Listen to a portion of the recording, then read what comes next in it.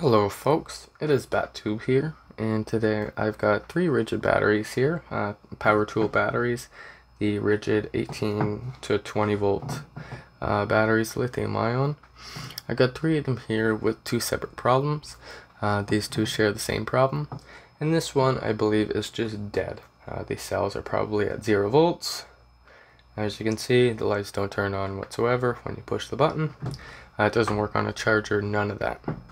The issue with these ones is different. Shows full bars on both of them. And mind you, both of these were found scrapped.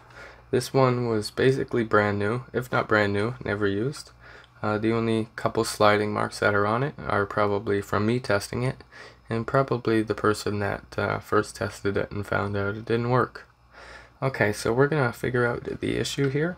Uh, like I said, these two are basically the same as you can see. Uh, it says full bars when you put it in any power tool, Ridgid power tool, and you try and use it, it doesn't work. And when you press the button and you press the trigger, it it shuts off the lights and you cannot turn them on. So some sort of short or something uh, causing it not to work. And the same thing happens with this battery. So we're going to try and figure that out. To start this project, you're going to need a Torx T10 to take out these screws and after you got that we can continue. So on these larger batteries, the middle size batteries, it's the same as the small batteries, The screws are on the side. When you get into some of the larger Ridgid batteries, these screws are on the top, which I will show you. So in your case, you may have a battery with no screws on the side. In this case, it's a Hyperoctane Bluetooth 9 amp hour, no screws on the side whatsoever, none on the bottom but you will find two right here. Uh, there's some cap plugs in these two spots that I've already removed and these four screws disassemble this battery. So if you have this type of battery, that's how you disassemble it. So I'm going to start just by disassembling all of the batteries. So I will just take out, out these screws. So yeah, it's not focusing on anything else. And then we will get to disassembling the rest of them.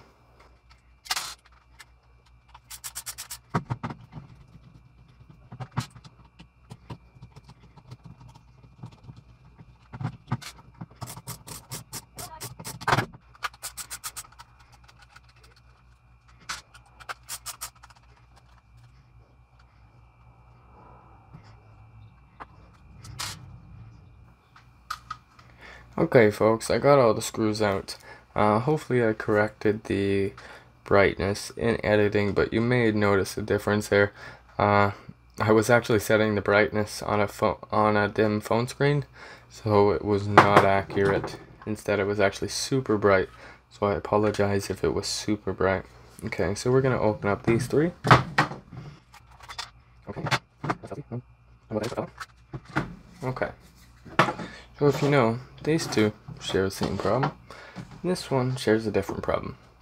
I would say just completely remove it so we can uh, check the voltage of the cells individually.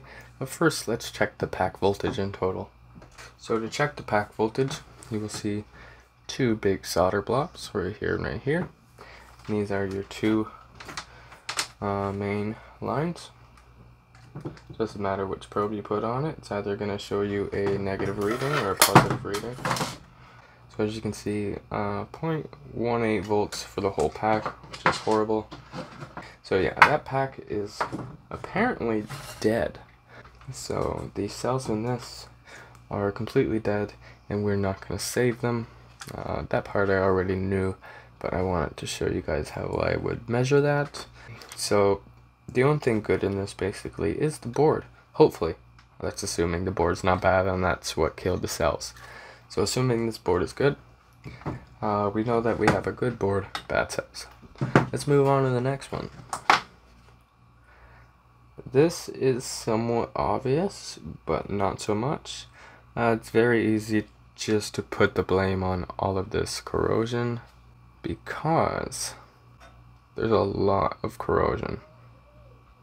So it could very well just be all this corrosion on the battery that is causing it not to work. Uh, shorted, probably shorted out one of these tiny, tiny little resistors if we zoom in on this a little bit.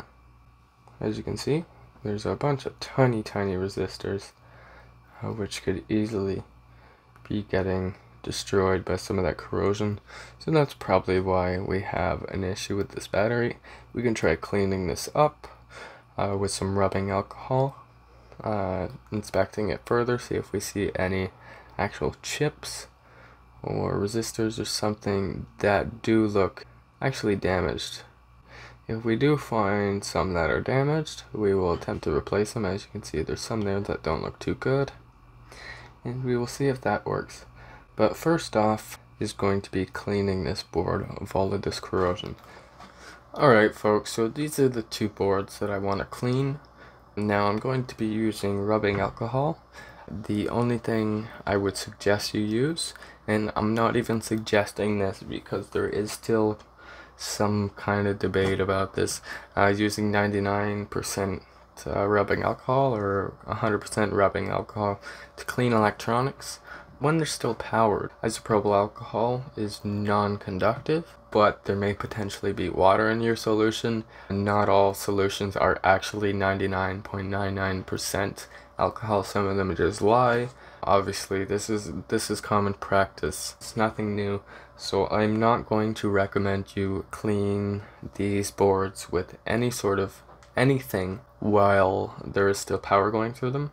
So in that case, I'm going to show you guys the process to remove the board if you want to do that. I'm not going to do that. I'm just going to be uh, scrubbing this down with a toothbrush, some 99% rubbing alcohol. I've done it many times in the past, never had issues. I just don't want to be responsible for the one issue that may happen to you for some reason. So first of all, here's what we're going to do. We got to get this battery out of this shell. Uh, but it's not really a shell.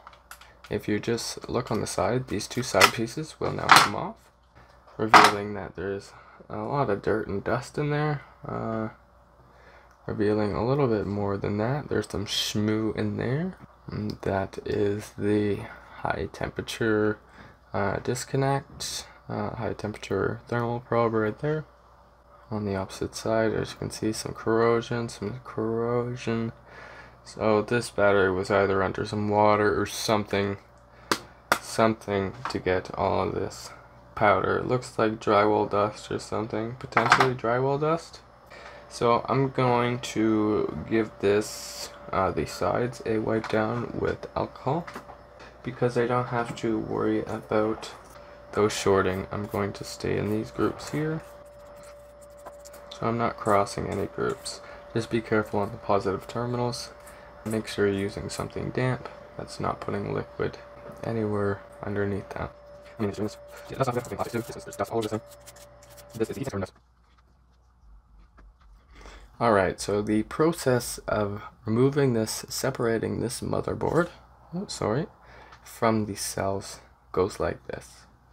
As you can see, there's balance lines coming from the cells, each parallel group, and series, each parallel, two parallel groups in series has two terminals that's going to be soldered on either side. This is the main, main positive right here so all of these are going to have to be unsoldered and removed. So unsoldered, uh, pulled up, there's four screws. Uh, five screws, six screws rather, to remove plus the solder joints. There's one here. There is one here.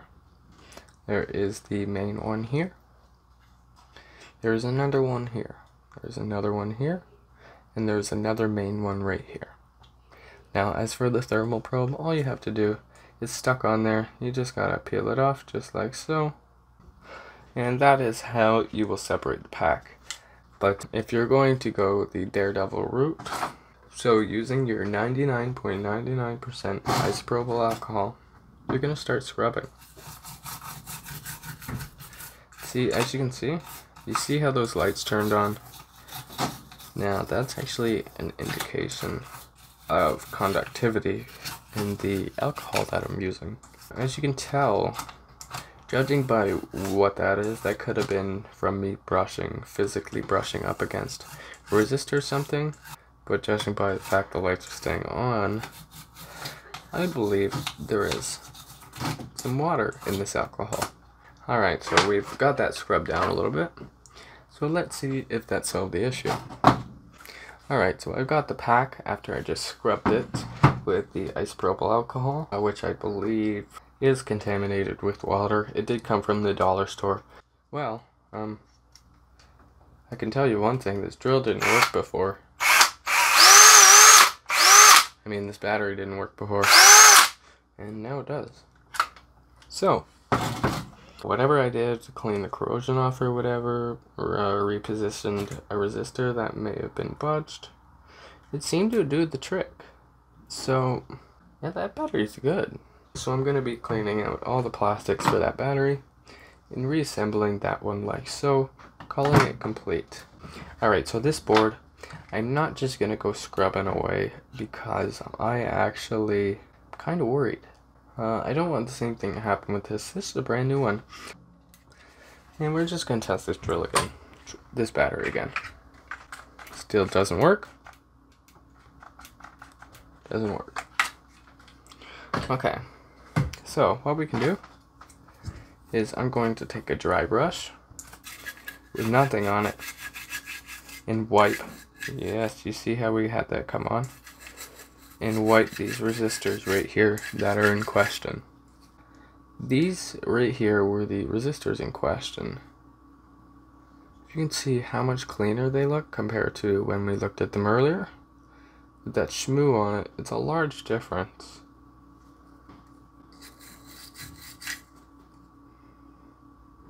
Everything seems to look okay. Other than these, I kind of look blown kind of look like they blew out the top.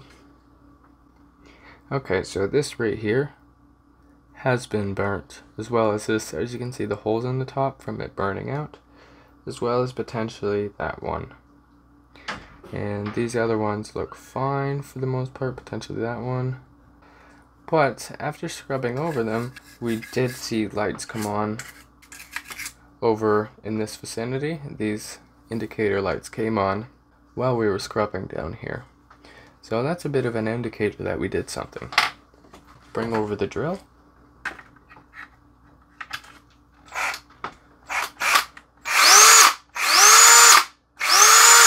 Well then, looks like, uh, looks like we got it. Okay, so keep in mind folks, that that part has been blown out. So this is a temporary fix. This could last an hour, this could last a minute. This maybe the next time you try and use it doesn't work at all.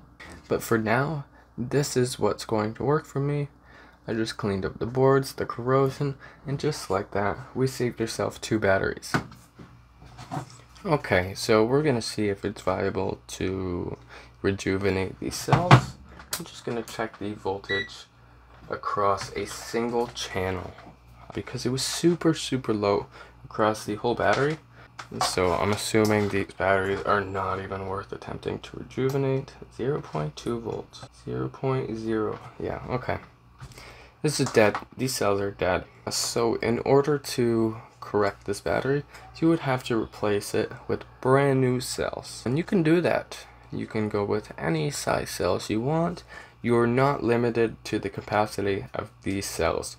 You can go with any capacity cells you want. Just make sure the current rating matches the current rating of these minimum just because they use these specific cells for a reason.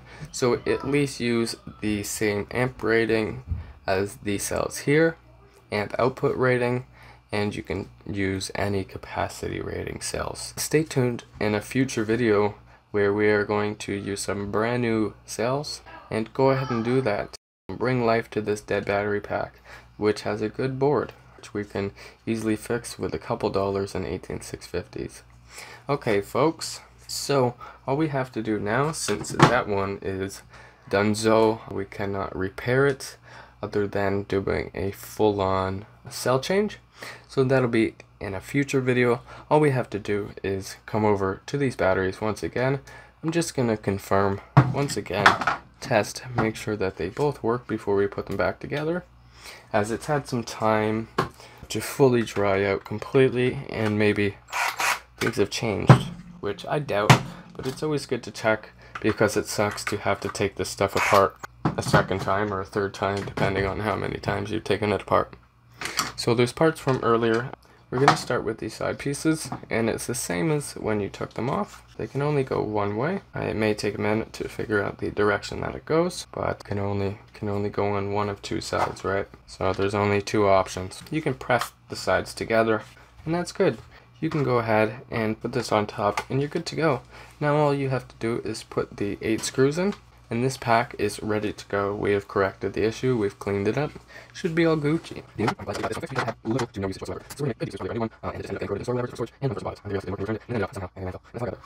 Okay, so I'm gonna put these two batteries back together and they're good to go. It was a very simple repair. Not all of the repairs are going to be that simple. Both of these batteries had the same problem. So if I come across some other tool batteries, other similar Ridgids, or some other brands like DeWalt, Makita, any of the other ones, Milwaukee, that have issues, we will go over them and try and fix them and try and determine what's wrong with them. Okay guys, thanks for watching, and until next time, have a good one.